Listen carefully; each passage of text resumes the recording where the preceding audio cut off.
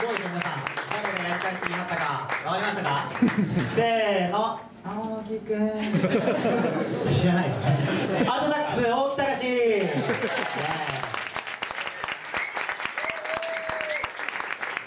まさかおしゃべりわがまま言ってすみませんでした。そのやった分ね、かいあって、かっこよくできたんじゃないですかね。ねねねイイエイイエイさてどこまで話しましたっけね。ケンジーセブンがセブンだぞと。セブンなのに7人じゃねえぞと。いう話なんですけどもそもそも始めた時は6人だったんですよ。でその時はシックスプレイという名前で2006年頃やってまして。でその次の年にあのー、テナーサックス白田康弘が加入いたしまして。あこのじゃあもう一回言います。テナーサックス白田康弘このパターンでどんどん全員やって。くるんでえっと加入しましてじゃあ7人ならケンジーセブンで行こうぜっつって。でだんだん増えてったんですよそこから。だんだんだんだんあのまあ、ドラムのやつが今すごいわがままで僕あのなんでしょうねトロンボーンなんですけど音を張って吹くんでトランペットなんかいらねえだろっていう気持ちがすごいあったんですけどなんか高い音がないとテンション上がらんけんちょっと入れないっつって言い出してしょうがなく渋々鏡鏡。あトランペット鏡宏入れまし。というふうにですね。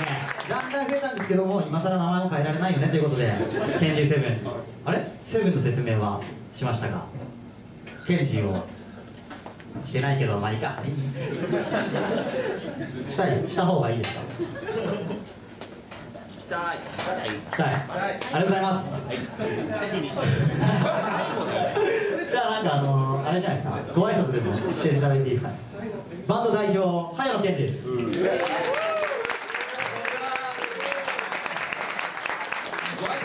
番苦手なんで、本当にあの、皆さん、あの、お足元の悪い中、これだけ集まっていただき、ありがとうございます。えーと、こ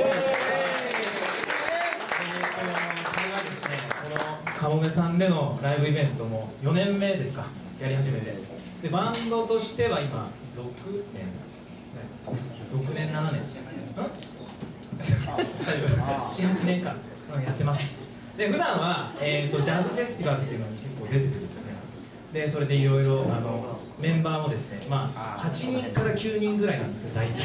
あの後輩のいろいろ力を借りながらやらせてもらってる次第です。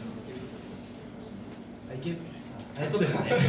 さいちょっとあの最新のライブ情報を挟みますと、えっと、池袋ジャズフェスティバルっていうのが5月17日土曜日はい告知来ました。12時半からやらせてもらいます。番宣来た番はい池袋西口公園です。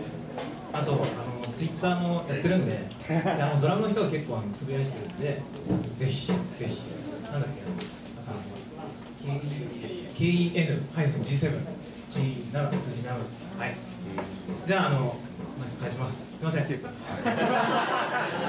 れあのすごいこのドラムのやつがめっちゃステージングっていうのうるさくてあの MC で謝るんじゃねえっていうのも毎回言うんですよ。でも全員やるたびに誰誰かしら謝っちゃうんですよ僕は今日まだ謝謝ってます。謝ってないですね。謝ってない。謝ってない。でもこれからも謝りませんのでガンガンやっていきたいと思います。シーンとしてますね。辛いな。えっとじゃあ次また2曲続けてお聴きいただきます。いきましょう。